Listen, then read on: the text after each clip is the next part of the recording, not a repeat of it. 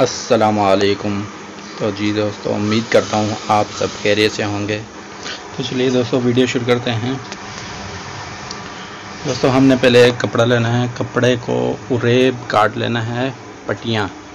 पट्टियाँ काटने के बाद हमने एक लंबी पट्टी बनानी है। इसको जोड़ लगा के लंबी बना लें और उसके बाद फिर हम इसको बूट बूट की, आधे बूट की हम इस पर सिलाई लगा देंगे।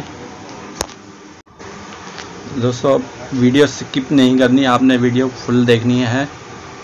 तो हम इसको बूट बूट की सिलाई लगा लेंगे। दोस्तों, बूट की सिलाई लगाने के बाद हम इसे पलटी करके इस्त्री से बिठा लेंगे।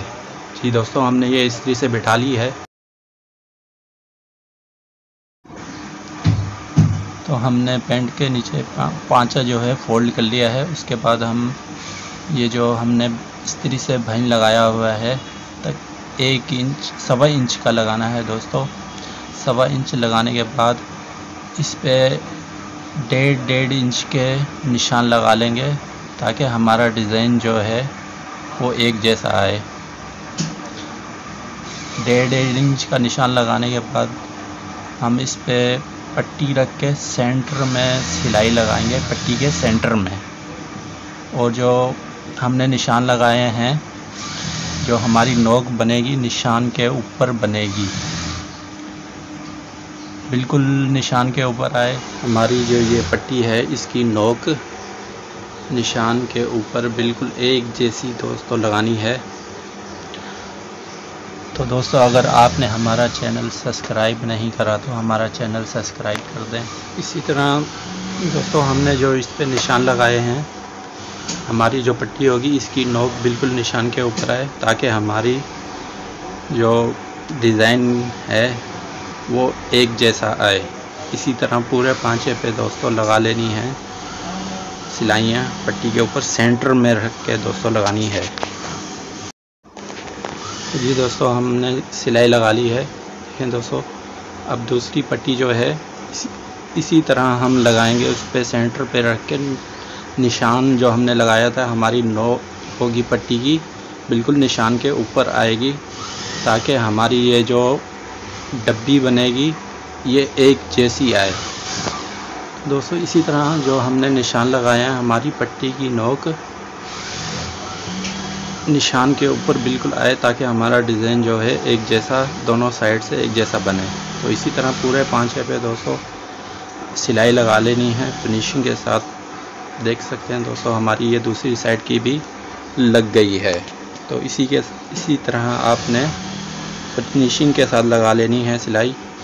तो सिलाई लगाने के बाद दोस्तों, इस पर साइडों पे जो हमने पट्टी पलटी करी हुई है, साइडों पर बराबर रख के इसको सीधी सिलाई लगा देनी है।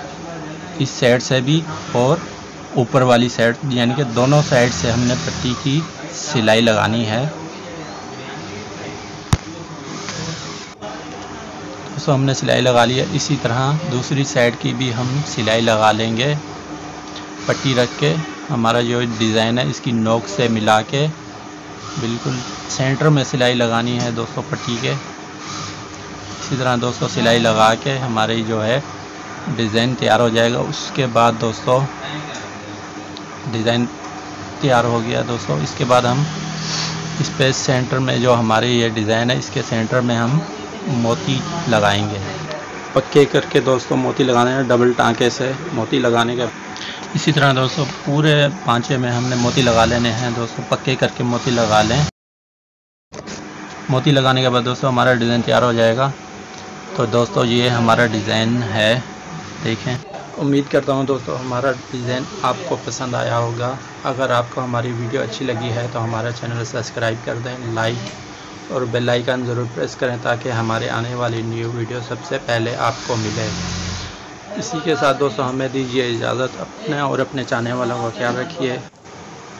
और हाँ हमारा चैनल ज़रूर ज़रूर सब्सक्राइब करिए और बेल आइकन ज़रूर प्रेस करें ताकि हमारे आने वाली न्यू वीडियो दोस्तों सबसे पहले आपको मिले। और कमेंट में अपनी राय का इजहार ज़रूर करें। फिर मिलेंगे किसी ऐसी ही वीडियो में। तब तब तक के लिए अल्लाह हाफिज़।